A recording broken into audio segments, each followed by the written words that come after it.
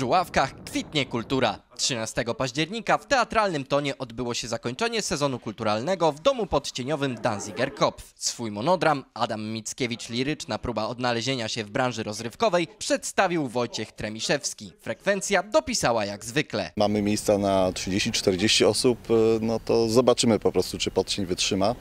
E, No sprawia nam to wielką przyjemność. Oczekiwania są, żebyśmy robili to dalej. E, Jest nam bardzo miło. Ten dom dzięki temu żyje. Po to on jest, żeby był otwarty.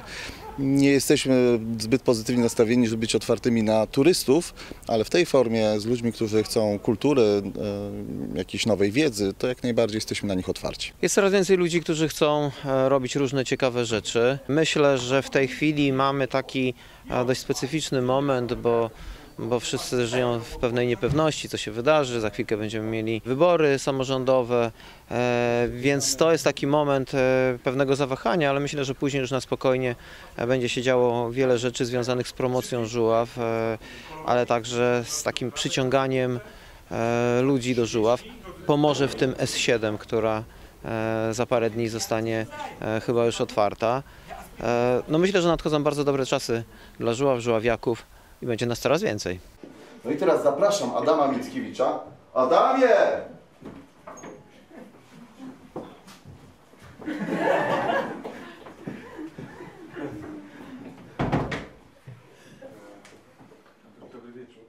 Spektakl Wojciecha Tremiszewskiego opowiada o losach wieszcza Adama Mickiewicza, który opuszcza niebo i po raz kolejny próbuje zaistnieć w świecie kultury. Monodram, choć z 2010 roku, dzięki swej tematyce ubranej w cięty humor, zyskuje miano ponadczasowego. Oczywiście wiele się zmieniło, ale wiele się też nie zmieniło i wydaje mi się, że e, pewna, pewien profil psychologiczny, którego się nabawiliśmy przez lata niewoli, najpierw zaborczej, a potem e, komunistycznej, sprawił, że jesteśmy trochę zakompleksieni, chcemy wygrać z przeciwnikiem, chcemy się ciągle wyzwolić, brakuje nam wodza. Wydaje mi się, że to jeszcze trochę nam leży odłogiem w głowie. Powin... Chciałbym, żebyśmy nabrali narodowo trochę dystansu i trochę wolności takiej umysłowej.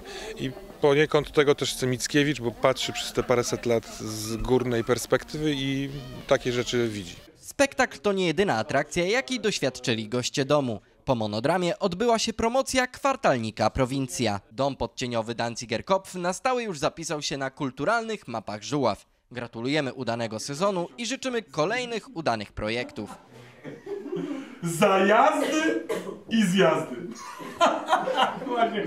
Wiecie pan, Panie Adamie, y, w tych pańskich monologach to też, wydaje mi się, można troszeczkę mocniej przyfasolić. Pan, y, sam pan mówił, że krew u Mickiewiczów nie woda, że tam buta i rozruba w zapisie genetycznym. No to pokaż nam to, my chcemy to zobaczyć. No.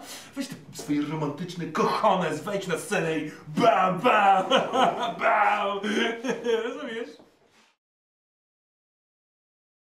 Polecamy również zobaczyć pokaz filmowy w Żuławskim Domu Podcieniowym oraz o tańczącym Żuławskim Domu Podcieniowym. Polub nas na Facebooku, oglądaj na www.północna.tv i nie zapomnij subskrybować kanału.